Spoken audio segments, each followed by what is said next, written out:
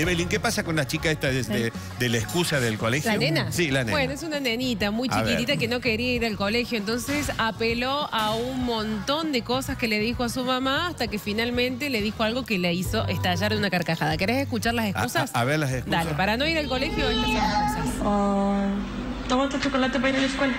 Pero, pero mira, No tienes nada. claro que sí, mira, No tienes nada. claro que sí, No. sí, No, no tienes nada.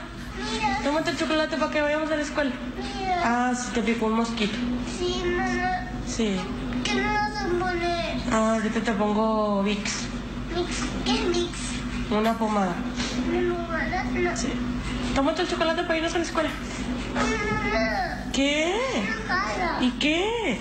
porque no me gusta, ¿Qué no te gusta? quiero escuela, ¿No te gusta ir a la escuela? no, Tómate el chocolate. Ándale, ya es tarde. Embarazada. ¿Qué? estoy embarazada, ¿Estás qué? embarazada, Embarazada. ¿Cómo estás embarazada? Ahí está, eso son excusas. Al principio apeló a decirle que le había picado un mosquito, Claro. después le apeló a decir que no, que no le gustaba y después terminó diciendo, bueno, no, estoy embarazada.